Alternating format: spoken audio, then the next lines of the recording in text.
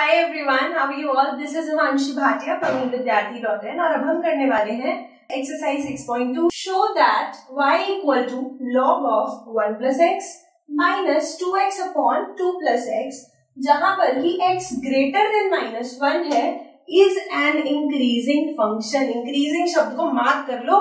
हमें शो करना है कि ये जो इतना लंबा चौड़ा सा फ़ंक्शन दिया हुआ है, ये क्या है? इंक्रीजिंग यानी कि इसका derivative should be greater than zero यानी कि पॉजिटिव होना चाहिए। ये लास्ट की line throughout its domain का छोटा सा मतलब है कि जहाँ पर फ़ंक्शन डिफाइंड है, वो पार्ट डोमेन होता है एक्स की वो वैल्यूज़ जिनके लिए फ़ंक्शन डिफाइंड है, वो डोमेन होता है और हमें सिर्फ़ डोमेन में चेक करना है। वो कह रहे हैं कि भाई एक्स क्या है? माइनस वन से बड़ा है, यानी कि ज़ीरो माइनस माइनस वन से छोटी वैल्यू यानी कि minus two, minus three, minus four, उन सब के लिए और बीच के सारे रियल नंबर्स के लिए हमें चेक नहीं करना। तो चलो, शुरू करते हैं काम। क्या करोगे सबसे पहले? डेरिवेटिव फाइंड करोगे। एफ़ डैश एक्स ठीक है जी? अब अगर आपको चैप्टर फाइव अच्छे से आता है डेरिवेटिव अच्छे से आता है तो आपके लिए तो चुटकियों का काम लॉग ऑफ़ समथिंग का डेरिवेटिव क्या होता है? वन अपॉन समथिंग होता है। लॉग एक्स का derivative one upon x log of one plus x का derivative one upon one plus x अब यहाँ पे एक बार नोट करने वाली ये है कि लॉग के साथ जो भी है, उसको आप वन के नीचे तो ले आए अपॉन में, लेकिन उसका डेरिवेटिव जो है ना साथ में मल्टीप्लाई होता है। वन प्लस एक्स का डेरिवेटिव मल्टीप्लाई होता है, क्योंकि हम लगा रहे हैं chain root log of x का derivative one upon x log of आलू का डेरिवेटिव वन अपॉन आलू, लेकिन आलू का डेरिवेटिव साथ में मल्टीप्लाई होगा। दिस इज़ चेन रूल तो अगर आपको चेन रूल में अभी भी प्रॉब्लम है प्लीज़ चैप्टर फाइव की इंट्रोडक्शन वीडियोस देखो, उससे चेन रूल समझो। तो वन प्लस एक्स का डेरिवेटिव हमने कर दिया multiply minus two x upon two plus x पहली बात तो टू कांस्टेंट है, अलग लिया जा सकता है, बचेगा x upon two plus x एक फ़ंक्शन अपॉन दूसरा फ़ंक्शन क्या लगना चाहिए? डिविजन वाला रूल यानी कि क्वेश्चन रूल क्वेश्चन रूल क्या कहता है? कि फ़र्स्ट फ़ंक्शन का, यानी कि ऊपर वाले फ़ंक्शन का एक्स का डेरिवेटिव कर दो. सेकेंड फ़ंक्शन यानी कि नीचे वाला फ़ंक्शन एज इट इज़ लिख दो. माइनस फ़र्स्ट फ़ंक्शन यानी कि एक्स जो ऊपर था एज इट इज़ लिख दो. सेकेंड फ़ंक्शन का डेरिवेटिव कर दो. अपॉन में नीचे वाले फ़ंक्शन का स्क्वायर कर दो येलो कर दिया। अगर क्वेश्चन रूल याद नहीं है तो मैं दिला दू, याद u अपॉन v का डेरिवेटिव करना हो।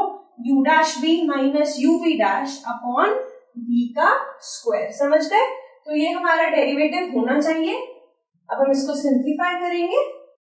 कितना आ गया यहाँ से? वन का डेरिवेटिव ज़ीरो एक्स का वन तो one upon one plus x ठीक है जी? फिर है minus two bracket open two plus x minus x into two plus x का डेरिवेटिव देखो टू प्लस एक्स का डेरिवेटिव वन होता है क्योंकि टू का ज़ीरो और एक्स का वन तो माइनस एक्स रह गया सिर्फ़. और अपॉन में क्या है? टू प्लस एक्स का होल स्क्वायर है. अब इसको इतना तो सिंप्लीफाई हो गया अब फर्दर करेंगे.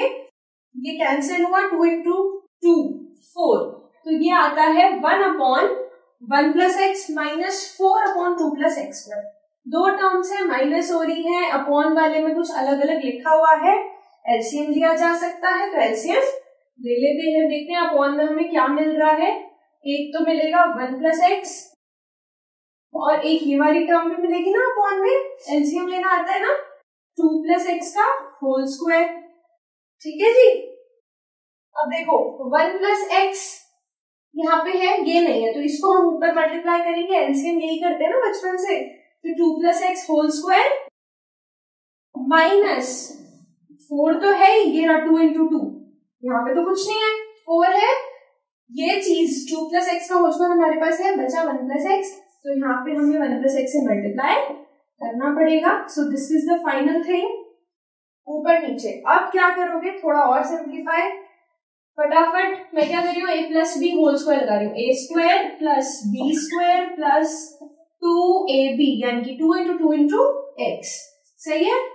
Minus four into one minus four into x देखो फोर एक्स फोर एक्स गायब हो गया। फोर से फोर भी गायब हो गया। सिर्फ़ एक्स स्क्वायर बचा है हमारे न्यूमरेटर में। और डिनोमिनेटर में हमारे पास बचा है one plus x and two plus x whole square तो हमारे पास मोस्ट सिंप्लीफाइड फॉर्म है x square upon x square upon one plus x into two plus x whole square अब क्या करना होता है? आप कहोगे, जी मैडम, हमने एफ़ डैश एक्स तो निकाल दिया सिंप्लीफाई भी कर दिया, अब क्या करोगे?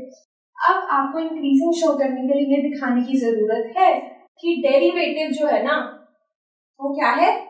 पॉजिटिव है। तो अब आप यहाँ पे ये बात बोलोगे कि x square greater than zero always ठीक है? दोनों ही लिख देते हैं, एक साथ ही। देखो क्या कहना चाह रही हूँ मैं? न्यूमरेटर में स्क्वायर वाली टर्म है एक्स कुछ भी रखोगे एक्स स्क्वायर हमेशा पॉजिटिव आएगा। डिनोमिनेटर में दो चीज़ें हैं, जिनमें से एक जो है ना टू प्लस एक्स का होल स्क्वायर क्योंकि होल स्क्वायर है ऑलवेज पॉजिटिव आएगा एक्स को कुछ भी रख दो। ठीक है? तो सिर्फ़ ये बचा है जिसको हमें अभी करना पड़ेगा थोड़ा सा एडजस्ट। तो आप बोलोगे x square and two plus x whole square are always positive ठीक है? नाउ एफ़ डैश एक्स या फिर इस तरीके से लिख दो। देखो, ये पॉजिटिव ये पॉजिटिव सिर्फ़ वन प्लस एक्स बचा है। अब आप बोलोगे कि one plus x is positive when x is greater than minus one. इस बात को समझ पा रहे हो कि नहीं समझ पा रहे? ये जो तीसरी चीज़ बची है वन प्लस एक्स, ये कब बड़ा होगा ज़ीरो? हम चेक कर रहे हैं कब बड़ा होगा। जब x क्या हो, माइनस वन से बड़ा होगा, इनको मैं राइट साइड ले गई, ठीक है? ऑल्सो हमें गिवन है कि x तो है ही माइनस वन से बड़ा, देखो क्या लिखा हुआ है। तो हमारा मेन काम तो ये चीज़ कर रही ना क्वेश्चन में। तो आप बोलोगे